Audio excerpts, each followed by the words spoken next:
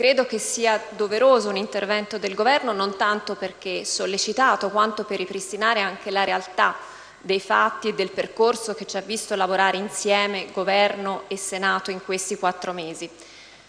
Credo che eh, l'atteggiamento che ha avuto il Governo nei lavori di tre mesi e mezzo in Commissione, in cui abbiamo avuto modo di lavorare a fianco dei due relatori e dei membri della Commissione,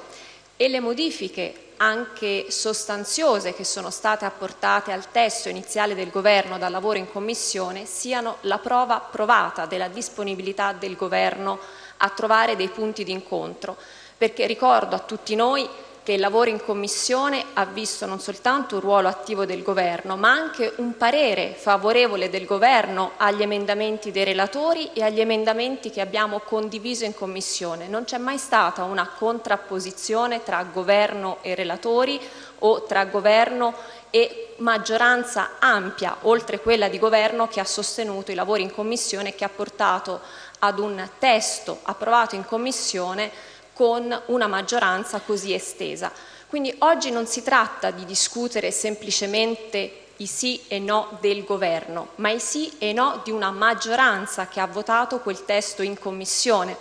Quindi non è semplicemente più il testo base del Governo iniziale.